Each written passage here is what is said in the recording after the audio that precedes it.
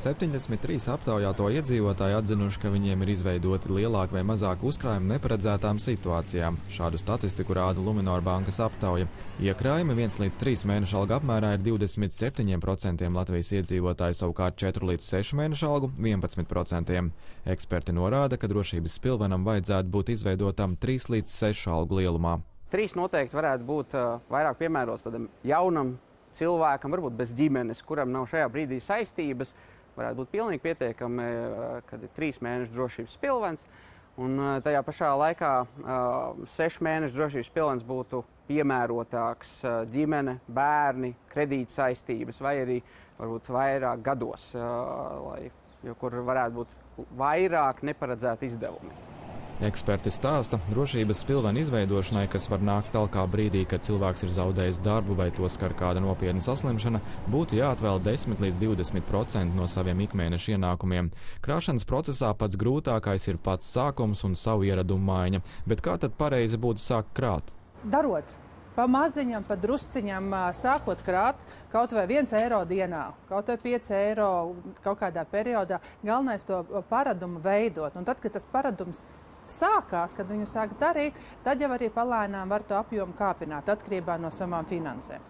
Krāšanas paņēmieni ir visdažādākie. Cits atliek mēnesī noteiktu summu, cits katru dienu pa kādam centam vai eiro. Var arī atlikt līdzekļus uzkrājumam, piemēram, no naudas, kas ietaupīta veiklā, iegādājoties preces ar atlaidēm. Atnākot mājās, es varu salīdzināt to standarta cēnu un to, ko es samaksāju, un to starpību atlikt tad tajā drošības pilvenā. Noteikti tas prasīs laiku un pules. Bet nu, ar to krāšanu ir jāstrādā. Mēs esam sliņķi, mēs negribam. Mums liekas, ka ienākusi alga un tagad man jāatskaita tie 10 vai 20 procenti, ja, un tas ir daudz. Nē, jāsaka ar mazumiņu un jāatrod veids, kas tevi aizrauj, un tam jāvelta laiks. Lai sūri un grūti krāto naudu vienā dienā ar vieglu roku neiztērētu, visprātīgākais būtu atvērt atsevišķu uzkrājumu veidošanas kontu, kuram nejauši ar bankas karti nevar piekļūt klāt. Var atvērt parastu norēķinu kontu vai, vai atvērt krājkontu, to saucamo. Ir dažādi krājrīki, ko piedāvā bankas. Ja? Tad uh, tiešām ne tikai tu atliec, bet arī kaut kāds procents nāk reiz mēnesi klāt par to, ka tu krāji. Papildus tam bankās iesaka arī padomāt par iespēju iegādāties apdrošināšanas polises. Apdrošināšana ir tāda lieta, kas, mm, kas var kādās retā un ārkārtas situācijā uh, noderēt tādā apmērā, ko, ko pat nesadz drošības pilvens. Mēs varbūt pagājušā gada atceramies krustu Latvijā, kur nekustama īpašuma tika bojāti noteikti.